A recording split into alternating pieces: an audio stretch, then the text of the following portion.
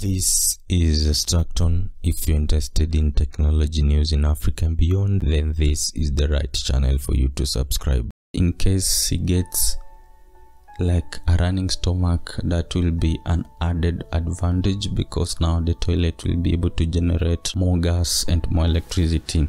So we have all seen biogas being used before in so many ways in different countries. Where I am from, I will say many people are using it and mostly they tend to use like chicken refuse and any other type of waste in the house. You build a structure then you are able to dump all the waste in that structure. But now from nigeria a man has decided to build a toilet the normal toilet that we use i mean from the human refuse. So this means if you don't go to the toilet a lot. Maybe you might not be able to generate electricity but he's using his own toilet. Is using his own toilet to be able to generate cooking gas and also to generate electricity.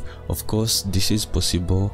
It is possible and it is doable. It is the biogas. It is called biogas. Only that in this case this guy is using his own waste and which I think it's quite unique and quite amazing to be able to generate electricity. Lately, of course, we can be able to see, I think many, many people are going to convert to biogas because of uh, the cost of gas, the cost of uh, the normal cooking gas that we use has been going up and up, and also the cost of electricity is going up. So, if you are able to use a cheaper means and natural means that you're not going to buy anywhere. The only thing it needs is for you to get the money to put up the, the structure because you need the structure and the pipes as well. Then once you're done it's going to run on its own. All you have to do is mostly all you have to do is to make sure that you have waste in it because yeah you have to make sure that you are adding more waste in it so that you'll be able to generate more gas and electricity at the same time.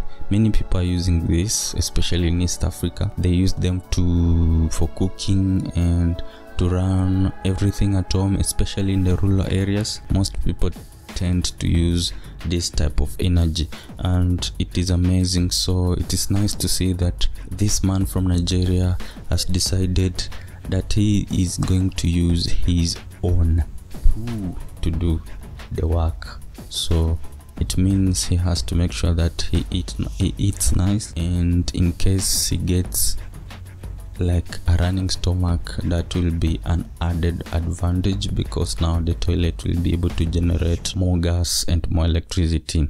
It is just amazing how more and more technologies are coming up on the continent. And of course here we are ready to get you informed and updated on any new thing that we see happened. And maybe you missed to see it or you missed to hear about it. So let me know about this type of technology. I mean will you wish to have a biogas in your home? Let me know in the comment section